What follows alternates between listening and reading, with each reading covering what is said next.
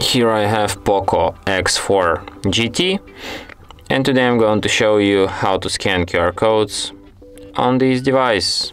So firstly you have to open camera, then you have to enable uh, like scanning QR codes. Like you have this feature enabled by default but in like for for sure I will show you how to do this. You go to settings, then you go to the smart suggestions and here you have scan QR codes. So you enable this feature and now you can scan any QR code just with your camera. So let's try it.